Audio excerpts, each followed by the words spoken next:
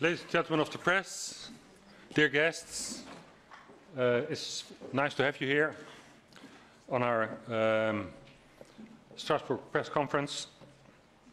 And I would like to um, say some words on the uh, Global Compact on Migration. On the 10th and 11th of December, there will be an international congress in Marrakesh, Morocco, um, with regard to this Global Compact on Migration. And the participating countries are set to sign this agreement.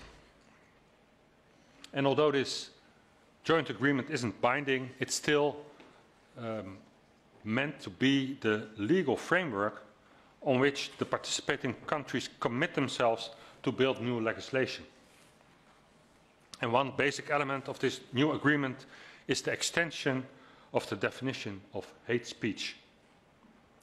The agreement wants to criminalize migration speech.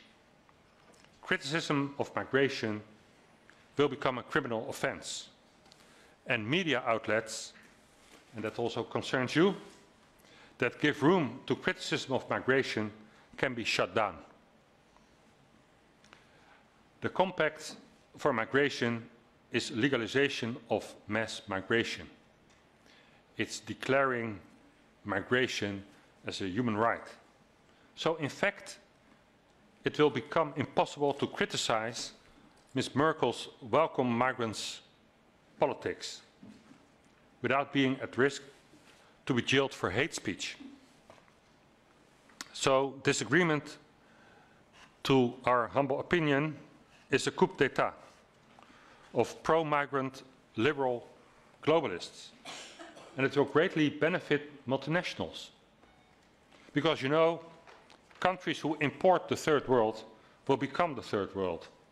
And it's absolutely clear, and you all know that, that in third world countries, multinationals dictate the rules.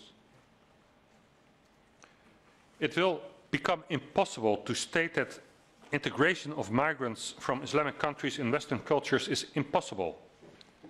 It will become impossible to mention the fact that mass migration deteriorates the Western welfare systems and the fact that mass migration leads to explosive surge of rape and murder. And this makes the timing of the compact on migration significant as we are heading towards elections of the European Parliament next year. With this treaty, the EU member states and the European Commission are destroying the political level playing field. It allows them to cut funding of migration critical political parties and silencing the political opposition.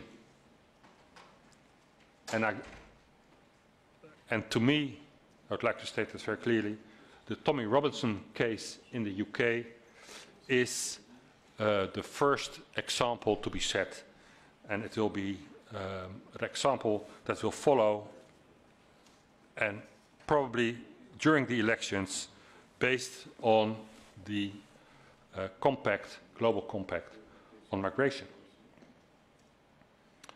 So,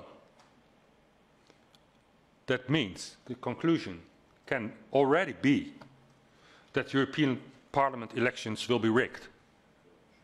And only the United States of America, Australia and Hungary have indicated not to sign this agreement.